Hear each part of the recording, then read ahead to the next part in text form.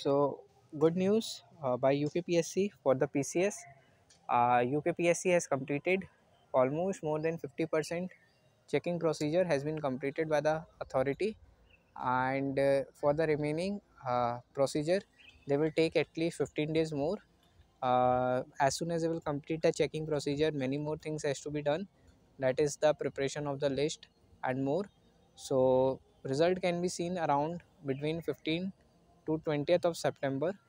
So this was the update for the PCS as candidates were waiting. So when the result will be released. Uh, so I've cleared you all the things about the UKPSC. For more updates regarding UKPSC, you can subscribe our channel.